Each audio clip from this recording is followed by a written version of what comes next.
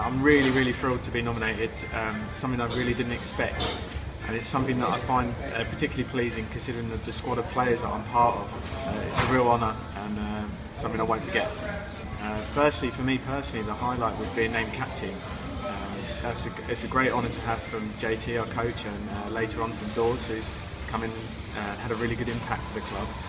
and something that I really will take away from Dubai and it's nice as I'm, I'm, leaving in the summer, so it's something that I can, can have as a memory. Uh, for the team though, uh, we really did have a great season, considering last season uh, was a bit tough. Uh, we sat down and said this season we're going to take things a bit more seriously. Um, we had a lot of good performances and we made the top six. I think that was a real achievement, um, good progress in one year, and I think that from next year we can really move forward and, and take it on uh, and be successful.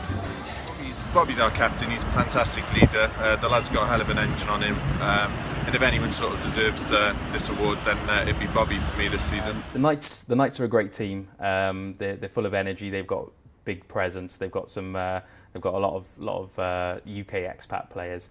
Um, Bobby Bobby's uh, pretty larger than life character, um, and he's he's played really well. Had a really good season for the Knights.